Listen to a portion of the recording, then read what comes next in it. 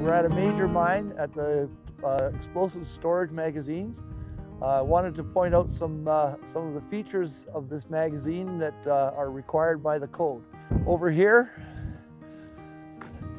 we have a box that is intended for authorized personnel entering the magazine area to deposit any lighters, matches, cigarettes, or any devices capable of producing a spark or flame. Off to the, the side of that, we have the, the required signage for the magazine. Danger explosives, keep out. No open flame or smoking within 10 meters of the magazines. If you look off behind me, you can see a big concrete wall there or block wall. That wall is uh, used to decouple the magazines. If there was an event in one magazine, it would not affect the other magazine. And we've got two magazines here, one for detonators and one for uh, explosives. We're standing by the required signage for, uh, for magazine areas. Uh, this magazine is located in a, uh, a, remote area on the mine site. Uh, it's not frequented by personnel uh, other than authorized blasting personnel. You'll notice that it's a, a high contrast sign, but it doesn't attract undue attention.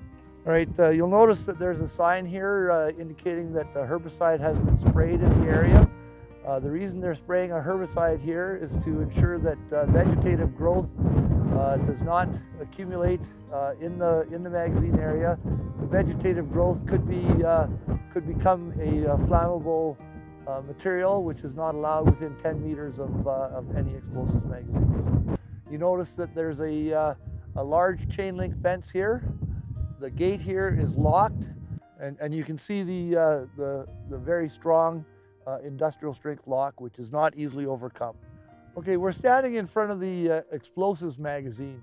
In any explosive storage area, there's generally two magazines, one for explosives and one for detonators.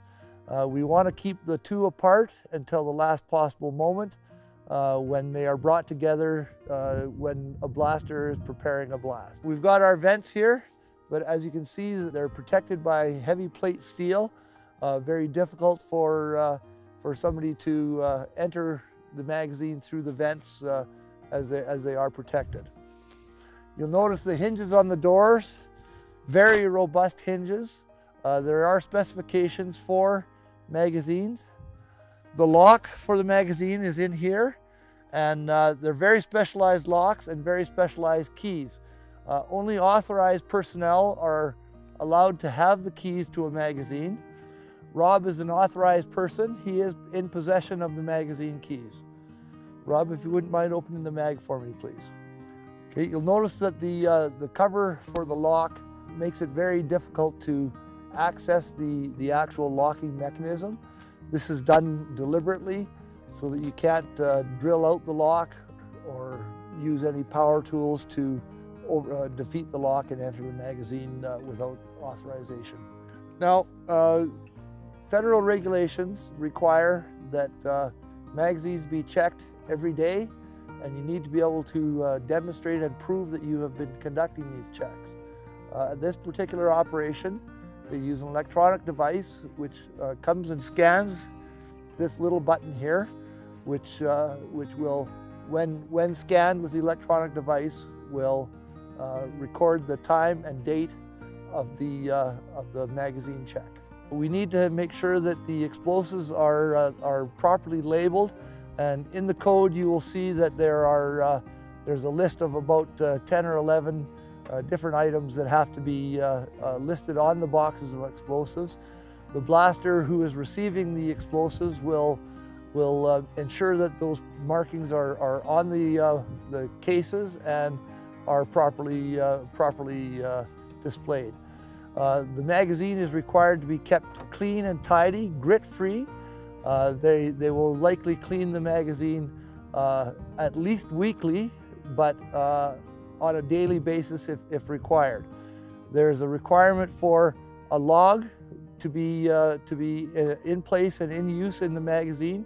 Any explosives removed or placed back into the magazine or delivered to the magazines uh, have to be, uh, have to be uh, logged and signed by the person uh, receiving the explosives or removing the explosives. So Rob has the ma magazine log here, and as you can see, it's uh, dated and signed, uh, and all of the explosives, uh, the quantities and the type of explosives that are removed from the magazine or returned to the magazine are listed here and they're signed off. Uh, thanks, Rob. Okay, as you can see, we've got a very clean, orderly, well-organized magazine. Inventory is is stacked neatly and and uh, in, in the order in the, in the order that it was received. It will be used in the inverse order of that it was received. Uh, in other words, it will be used uh, the older product first. You notice the floor is very clean. You notice there's a red line around the around the magazine. That's the stacking level. We're not allowed to stack explosives any higher than that red line.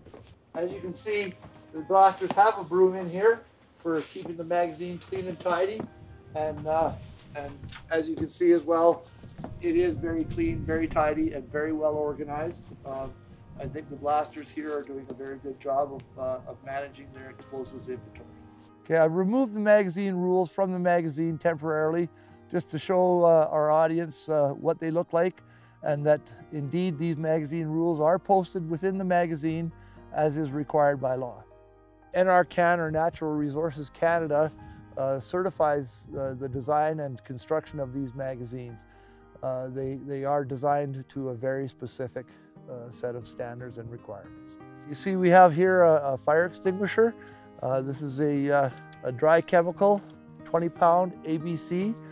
it's, it's placed here to, to aid in extinguishing any fires that may occur around the magazine or on, on any uh, authorized vehicles that may be entering the magazine area. We're now standing in front of the uh, detonator magazine. As you can see, it's a little bit smaller. Uh, uh there's not quite as much uh, um, volume and bulk with the detonators. The detonators are stored separately from the explosives to ensure that there aren't any accidental detonations. If a, if a detonator were to, to detonate here, uh, the wall over behind us uh, will separate and decouple the detonators from the explosives magazine. This magazine has uh, all of the same features. It has the, uh, the scanning button, the security for the door, heavy duty hinges. It's got the fire extinguisher and vents it also is required to have uh, the logbook uh, and is uh, and magazine rules posted and is kept very tidy and neat. Also uh, provided uh, within the magazine site, uh, this mine has, has provided for the blasters a C-can to store materials and tools that are not allowed to be stored in the explosives magazine. As, uh, as a blaster, you will know that only explosives are to be stored in explosives magazines and detonators in detonator bags.